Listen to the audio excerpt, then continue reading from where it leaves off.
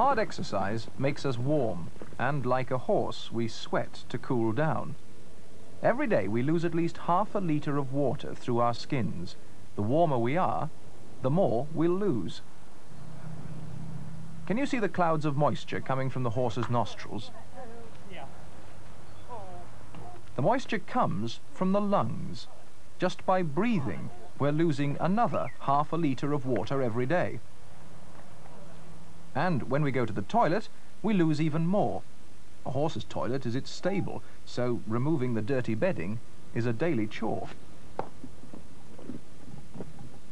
The body gains water mainly by drinking, but quite a lot comes from our food. Even what looks like dry food contains a surprising amount of water. Just how much we can see by a simple experiment.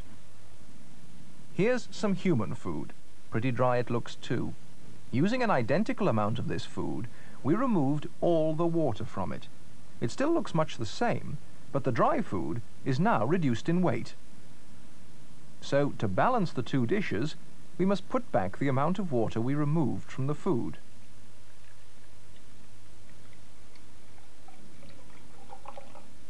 That's how much water there was in that food. Now, if our bodies gained too much fluid, our tissues would swell up, or if we lost too much, our tissues would shrink. So we must keep a constant balance of water in our bodies. It's the kidneys that remove from the blood just enough fluid to keep this balance. The kidneys are well supplied with blood. Every day, more than 1,700 litres of blood are pumped through the kidneys. That's more than a litre a minute. Let's see what happens to it.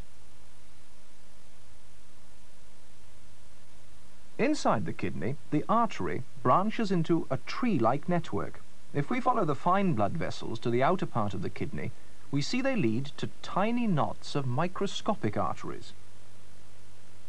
There are about a million of these knots in each kidney. While the blood passes through these microscopic vessels, some of the liquid is filtered out. In this animation, we can see the blood flowing through, but some of the liquid is being forced out from the blood into a cup-shaped capsule surrounding the blood vessels. There are minute holes or pores in the thin walls. Though they're small enough to prevent blood cells and proteins getting out, water and simple substances like salt, glucose and urea do get through.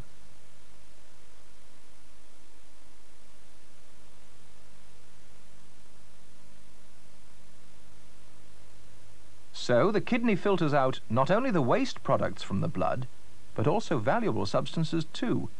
What the kidney does next is to return these necessary substances back to the blood. Let's see where this happens. If we examine a piece of kidney tissue, it's possible to see very fine tubules that make up much of the tissue.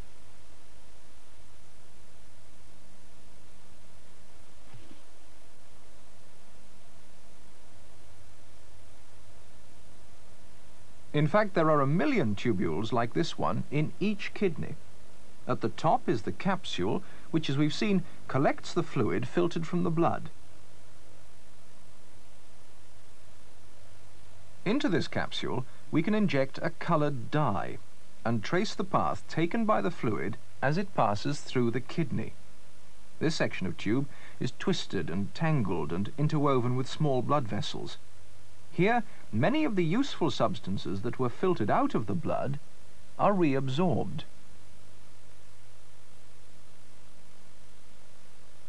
Altogether, the kidneys remove about 170 litres of fluid from the blood every day. And as it travels through the tubules, about 99% of this fluid is returned to the blood.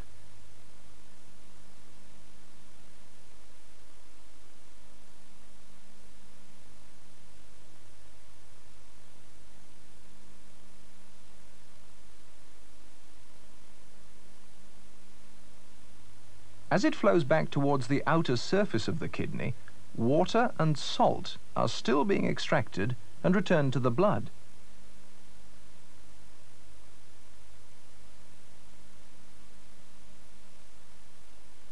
There's a sensitive mechanism that makes sure the body retains what it needs and gets rid of what it doesn't.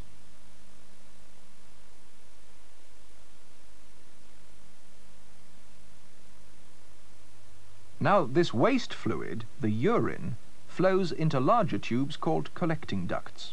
Finally, these ducts join up and drain the urine out of the kidney. When it leaves the kidney, the urine contains only those substances which are of no further use to the body. If the kidneys stopped working, fluid and poisonous waste products could not be filtered out of the bloodstream. A year ago, this happened to Colin. Fortunately, he's very much alive because he has a machine to filter his blood. For three nights every week, he's linked to this artificial kidney machine at his home.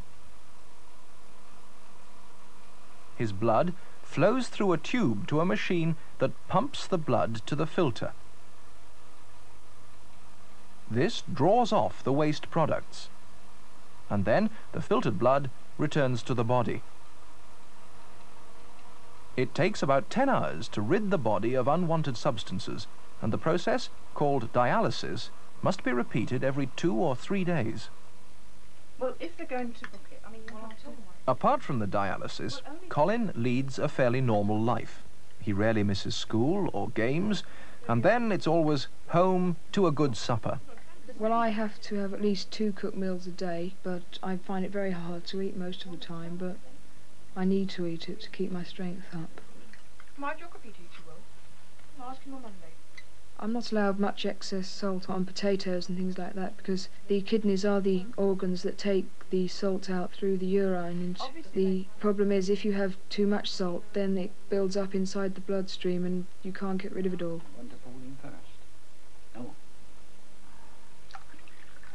Well, I can only have a pint of fluid a day because the real reason that we've got a machine is to take fluid off and so I can't have too much fluid or else I'd have to have more fluid taken off while I was on dialysis.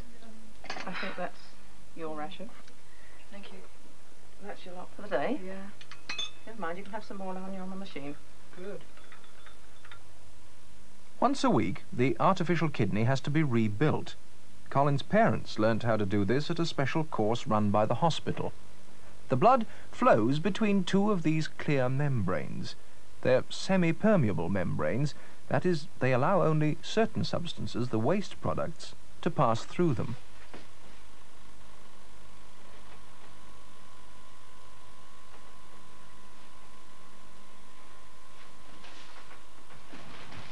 It's between this board and the outer surface of the membrane that another fluid flows, carrying away the waste products that slowly filter through from the blood.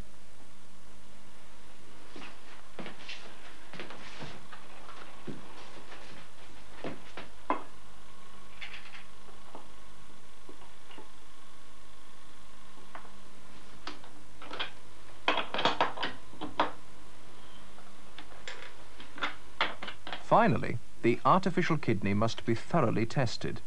Then it will last for three dialysis sessions before the membranes must be replaced.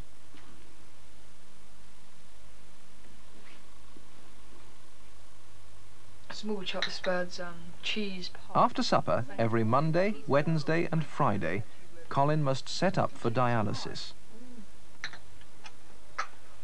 I better go and set up the machine now. Fine. Get to work then.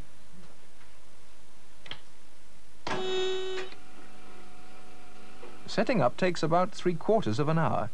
Every step must be carried out with absolute accuracy. Nothing can be skimped or forgotten. Colin was started on dialysis at hospital when his kidneys became too diseased to function. After four months, a kidney machine was installed at his home, and by that time, Colin had learned how to set up the life-saving apparatus.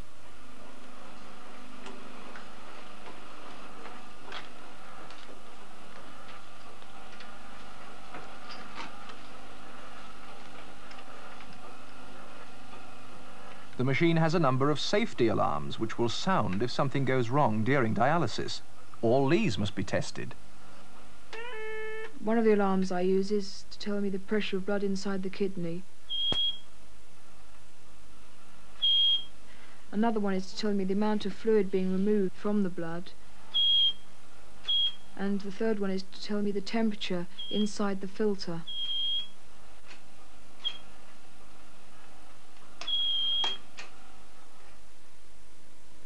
Between each dialysis I put on about two kilos. This is excess fluid so I need to take it off during dialysis. Right, Colin, what's your weight? 43.4 kilos. 43.4.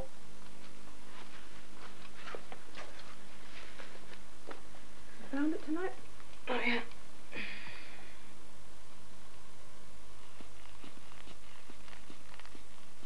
Before I go on dialysis, my blood pressure is higher than usual because of the excess chemicals in my bloodstream that I can't get rid of, and the machine takes them off. So when I come off the machine, my blood pressure is usually down to a normal level again. 130 90. Mm, 130 Yes, Really quite good. Yeah.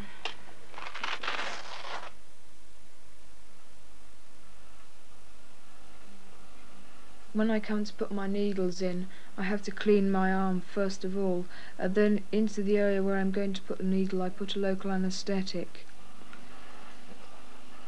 Then I put the large needle through the skin into the vein. No, but it's giving. Go deeper. On dialysis I use two needles. One is pointing in the opposite direction of the flow in my vein to, to get the full pressure pushing it out into the system. The other needle coming back in again is pointing in the same direction as the flow, so it pulls all the blood back into the vein. That was really good. When the needles are in, I can usually relax because I know that I've got them in and I've got over the worst part of the dialysis, so I feel pretty good then. Yeah, it's coming through. That's fine. The air coming out. It takes less than two minutes for the blood to circulate through the machine and back into the arm. For the next 10 hours, Colin has a working kidney again. The one consolation of being on dialysis is that I can eat and drink as though my kidney was working again. I look forward to having things I can't usually have, things with excess salt like crisps and peanuts and things like that. And I also am allowed to drink as much as I like for the first five hours. I have confidence in the machine so I can sleep all the way through the night without worrying because I know if anything goes wrong an alarm will go off and wake me up. I think I'm very lucky to have the machine and I accept the inconvenience because there's no real alternative. I hope in the future to have a transplant, then I'll be rid of the machine and I'll be able to live a reasonably normal life. Because of a shortage of machines and trained personnel, not all the people who need a machine to live actually get one. So many die. Ideally, a machine should be used to get the patient well enough for a transplant operation. But in Britain, hundreds of patients have to wait several years on a machine because not enough donor kidneys are made available.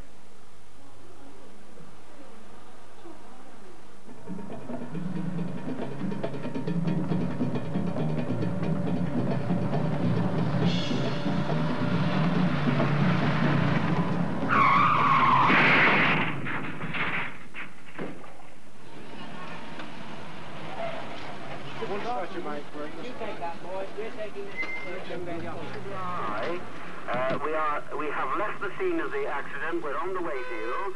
There's a young girl who has head injuries and leg injuries, and she will require portable X-ray on arrival.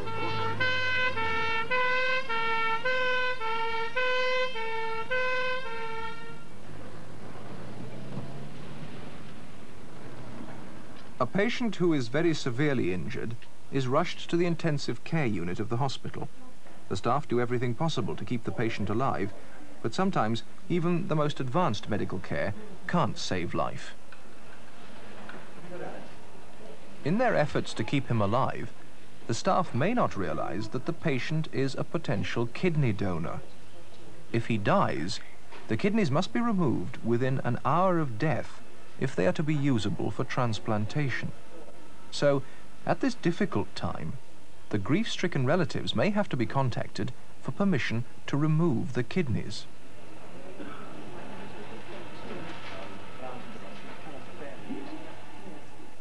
The death of one person can bring extended life to another. The transplant operation is relatively straightforward.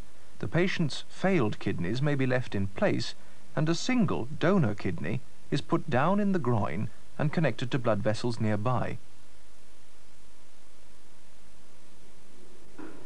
The first stage is to prepare the artery and vein for connecting to the donor kidney. That's the artery pulsating away with the vein underneath it. The vein will be attached first.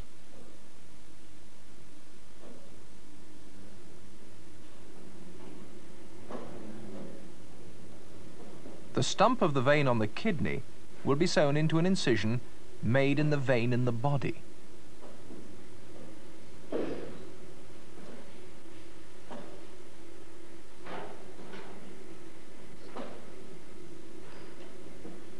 Now the artery on the kidney is joined to a branch of the artery in the groin.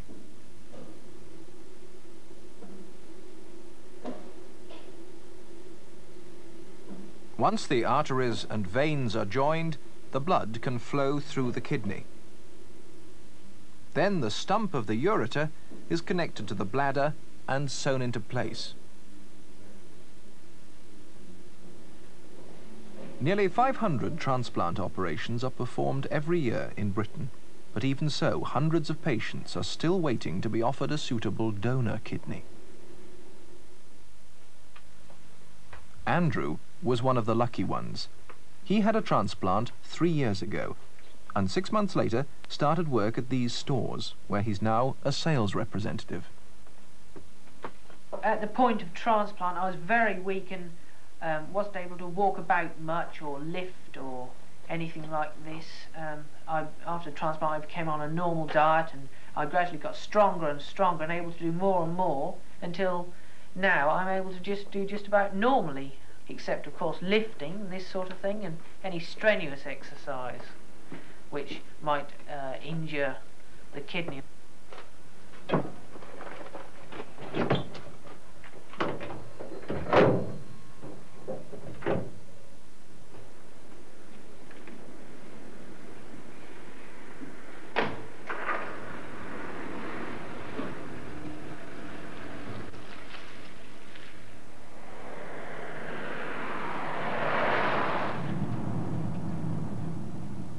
I owe my life to the doctors and surgeons who made this transplant possible and all who helped when I was on dialysis and kept me alive during the first years of illness.